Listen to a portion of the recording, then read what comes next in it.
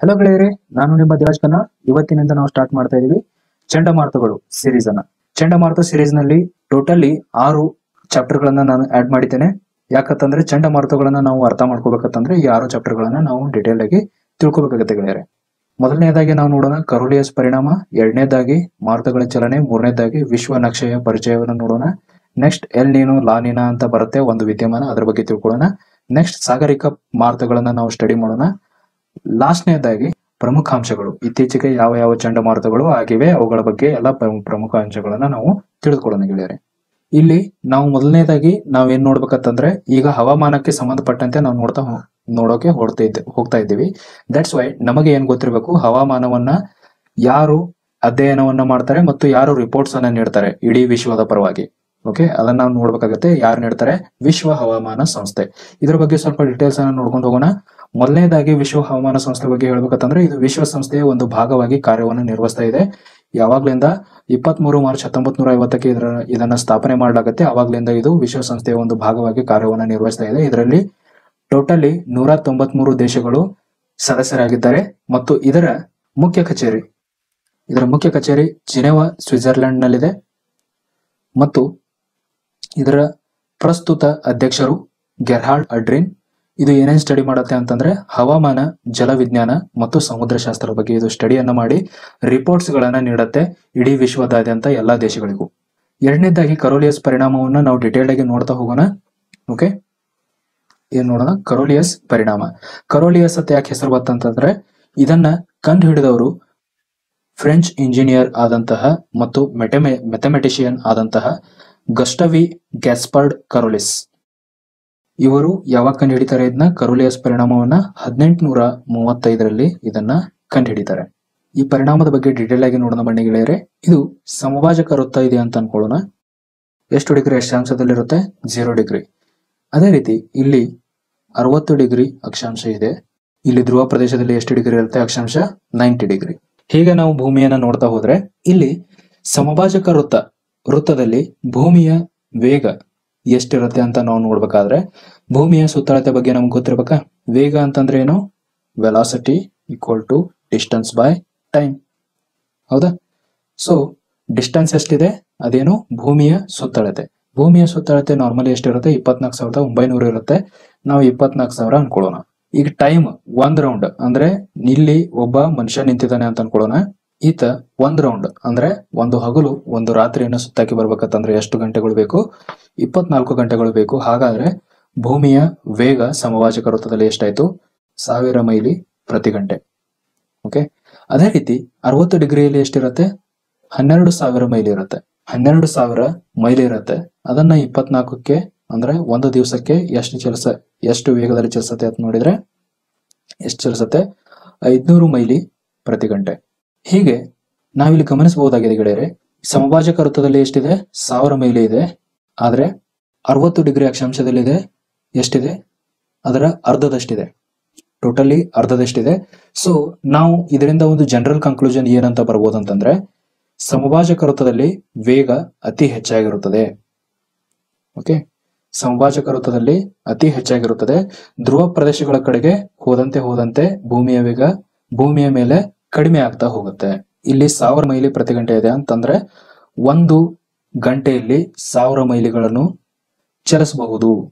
ಅದೇ ಇಲ್ಲಿ ಹೋದ್ರೆ ಅರವತ್ತು ಡಿಗ್ರಿ ಹೋದ್ರೆ ಒಂದು ಗಂಟೆಯಲ್ಲಿ ಐದ್ನೂರು ಮೈಲಿಗಳನ್ನ ಚಲಿಸಬಹುದು. ಅದೇ ಇಲ್ಲಿ ನೈಂಟಿ ಡಿಗ್ರಿ ಹೋದ್ರೆ ಒಂದು ಗಂಟೆಯಲ್ಲಿ ಜೀರೋ ಮೈಲಿಗಳನ್ನ ಚಲಿಸಬಹುದು. ಓಕೆ? ಹೀಗೆ ಜಾಸ್ತಿ ಆಗ್ತಾ ಜಾಸ್ತಿ ಆಗ್ತಾ ಬಂದು ಸಮವಾಚಕ ವೃತ್ತದಲ್ಲಿ ಅತ್ಯಂತ ಹೆಚ್ಚಾಗಿರುತ್ತೆ. ಇದೇ ರೀತಿ ದಕ್ಷಿಣ ಧ್ರುವದಲ್ಲೂ ಕೂಡ ಸೇಮ್ ಟು ಸೇಮ್ ಇರುತ್ತೆ. ಓಕೆ? ನಾವಿಲ್ಲಿ ಏನನ್ನ ಗಮನಿಸಬಹುದು ಅಂತಂದ್ರೆ, ಈ ಭೂಮಿ ಸಾವಿರ ಮೈಲಿ ಪ್ರತಿ ಗಂಟೆ ವೇಗದಲ್ಲಿ ಚಲಿಸ್ತಾ ಇದೆ ಅಂತಂದ್ರೆ, ಅದರ ಜೊತೆ ವಾಯು ಪದರಗಳು ಕೂಡ ಅಷ್ಟೇ ವೇಗದಲ್ಲಿ ಚಲಿಸ್ತಾ ಇರುತ್ತೆ. ಓಕೆ ಭೂಮಿಯ ಜೊತೆ ಅಂಟ್ಕೊಂಡಿರ್ತಕ್ಕಂತಹ ವಾಯು ಪದರ ಯಾವುದು? ಪರಿವರ್ತನ ಮಂಡಲ, ಅದರಲ್ಲಿರ್ತಕ್ಕಂತಹ ಒಂದು ವಾಯುವಿನ ಒಂದು ಗುಣಗಳಿಗೆ ಏನಂತೀವಿ? ವಾಯುಭಾರ ಅಂತೀವಿ. ಓಕೆ ಏನಂತೀವಿ? ವಾಯುಭಾರ. ಇದು ಏನೇನು ಒಳಗೊಂಡಿರುತ್ತೆ? ವಾಯುವಿನ ತಾಪವನ್ನು ಒಳಗೊಂಡಿರುತ್ತೆ ಮತ್ತು ತೇವಾಂಶವನ್ನು ಒಳಗೊಂಡಿರುತ್ತೆ. ಈ ಎರಡು ಅಂಶಗಳನ್ನು ಒಳಗೊಂಡು ಆ ಜಾಗದಲ್ಲಿರ್ತಕ್ಕಂತಹ ಒಂದು ವಾಯುವಿಗೆ ನಾವೇನಂತ ಕರಿತೀವಿ? ವಾಯುಭಾರ ಅಂತ ಕರಿತೀವಿ. ಈ ವಾಯುಭಾರ ಈ ವಾಯುಭಾರ ಭೂಮಿಗೆ ಅಂಟ್ಕೊಂಡಿರುತ್ತೆ. ಅಂತಂದ್ಮೇಲೆ ಭೂಮಿ ಎಷ್ಟು ವೇಗದಲ್ಲಿ ಚಲಿಸುತ್ತೆ, ಅಷ್ಟೇ ವೇಗದಲ್ಲಿ ಇದು ಕೂಡ ಚಲಿಸ್ತಾ ಇರುತ್ತೆ.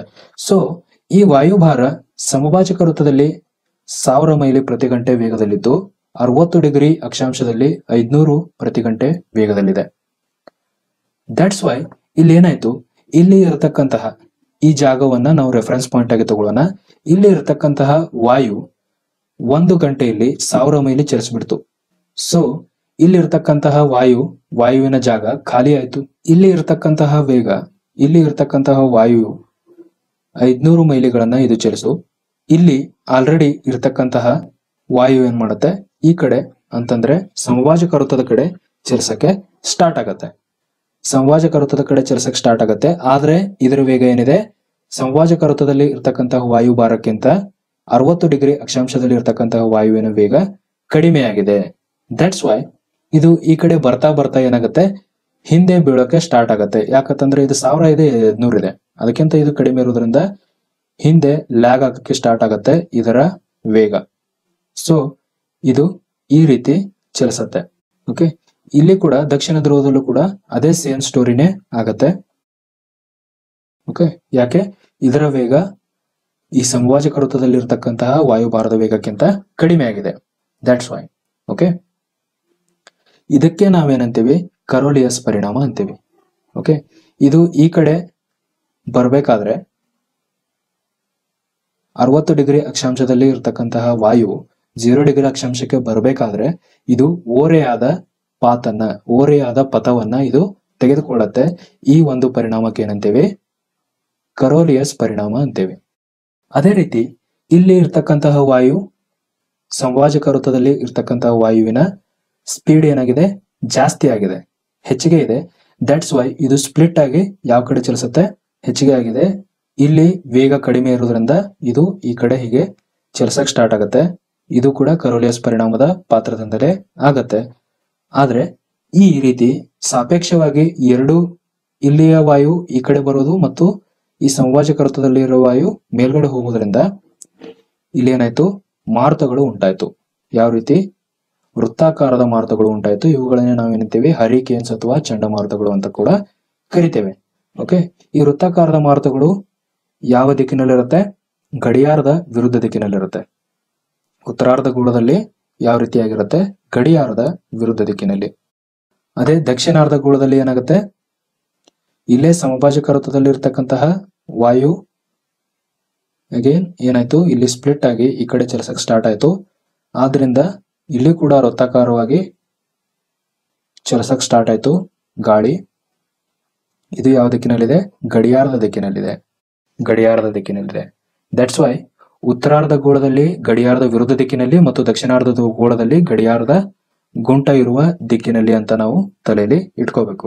ಇದರಿಂದ ಯಾವ್ದಾದ್ರ ಮೇಲೆ ಪರಿಣಾಮ ಬೀರುತ್ತೆ ಅಂತ ನೋಡೋಣ. ಇದರಿಂದ ಜಗತ್ತಿನ ವಿವಿಧ ಭಾಗಗಳಲ್ಲಿ ಅಗೇನ್ ಇದು ಸಂಭಾಜಕ ವೃತ್ತ ಅಂತ ನೋಡೋಣ. ಯಾವ ರೀತಿಯಾಗಿ ಚಲಿಸಕ್ ಸ್ಟಾರ್ಟ್ ಆಯ್ತು? ಈ ರೀತಿಯಾಗಿ ಮತ್ತು ಈ ರೀತಿಯಾಗಿ. ಇದರಿಂದ ಗಡಿಯಾರದ ವಿರುದ್ಧ ದಿಕ್ಕಿನಲ್ಲಿ ಉತ್ತರಾರ್ಧ ಗೋಳದಲ್ಲಿ ಮತ್ತು ದಕ್ಷಿಣಾರ್ಧ ಗೋಳದಲ್ಲಿ ಯಾವ ಯಾವ ರೀತಿಯಾಗಿ ಗಡಿಯಾರದ ದಿಕ್ಕಿನಲ್ಲಿ ಚಲಿಸಕ್ಕೆ ಸ್ಟಾರ್ಟ್ ಆಯ್ತು. ಗಾಳಿಯು ವೃತ್ತಾಕಾರವಾಗಿ. ಇವುಗಳನ್ನ ನಾವೇನಂತೀವಿ ಚಂಡಮಾರುತಗಳು ಅಥವಾ ಹರಿಕೇನ್ಸ್ಗಳು ಅಂತೇವೆ.